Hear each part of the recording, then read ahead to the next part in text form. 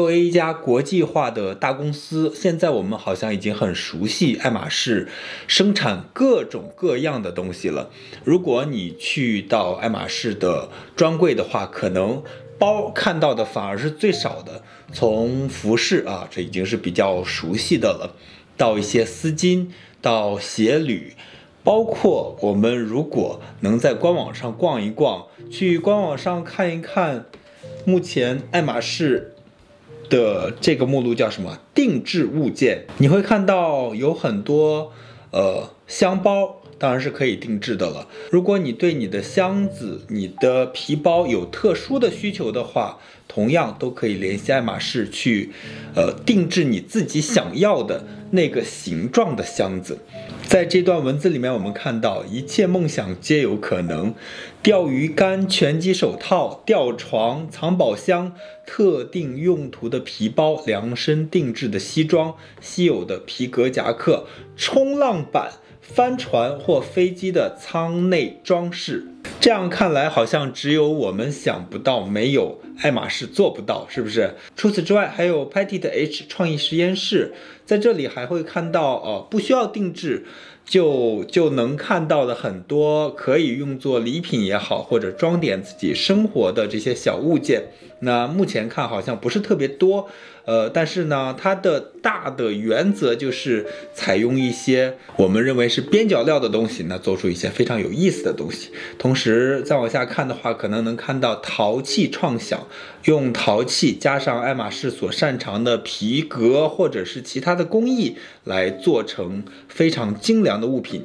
我们已经非常熟悉爱马仕，什么都做啊。那我们今天来看一看这个网页啊，一起来聊一下爱马仕打字机的历史。当然了，这个网页也是供大家参考啊。最初设计和制造爱马仕打印机的公司是这个 E.P 开头的公司，这是一家1814年创立的家族企业，最早制造了一些世界上最好的手表机芯和音乐盒。图片上的这个音乐盒看起来也是非常非常精密了。最早开始设计和制造打字机是在一九一三年，但是，呃，十年之后，他们研制的第一台打字机投放市场，但没有成功。到一九三五年，爱马仕 Featherweight 打字机投放市场，被普遍认为是第一台便携式打字机。我们还能看到这个打字机的左左上角啊，左边这个部分还能看到爱马仕的 logo。我们也了解一下它的尺寸，紧凑的设计尺寸仅为二点五英寸，重约八到十磅，哈，这个重量应该还蛮重的吧，并配有金属手提箱，超低调的 featherweight，成为了世界各地作家和记者的标准旅行打字机。再往下看，我们看到了一个非常清新的颜色。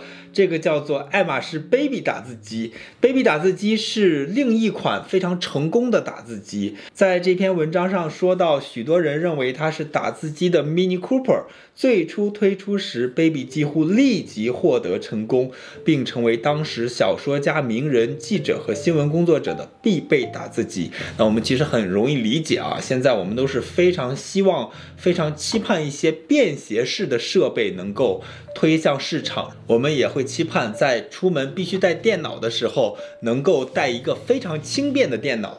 时间来到一九五二年，爱马仕两千打字机，那两千是它的型号。同样，我们看到了熟悉的爱马仕的 logo。这是一台黑色的光滑表面的打字机，配备圆形键。爱马仕两千型被认为是战后性能最好、颜值最高的打字机，确实蛮酷的。同样的型号，后续版本具有熟悉的绿色，让人联想到爱马仕打字机系列。爱马仕宣传说，他们的机器的绿色被认为是最易使眼睛得到放松的颜色。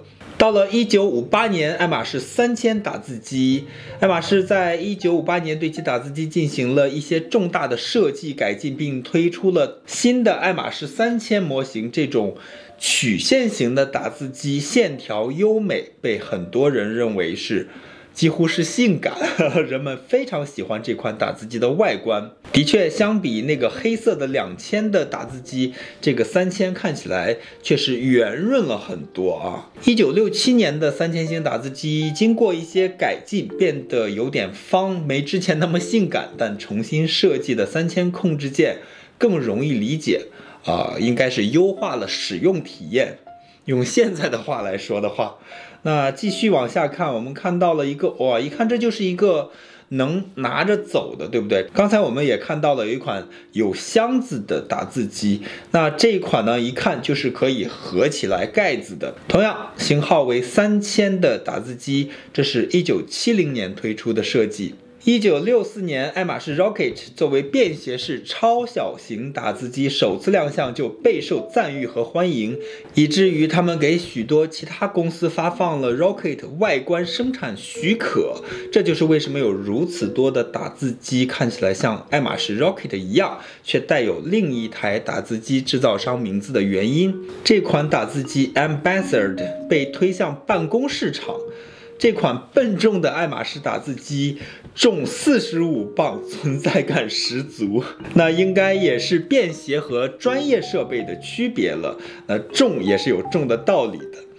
其实现在在二手市场上也能看到很多爱马仕的打字机在出售，但是呢，现在出售的打字机就没有办法作为正常使用。呃，来存在了，它只能作为一个工艺品或者一个收藏品。其实，在很多比较复古的酒店呐，或者餐厅啊，也会看到这样的一些装饰。下次大家看到打字机的时候，别忘了看看是不是爱马仕出品的打字机。好的，今天节目到这里了，我们下次见，拜拜。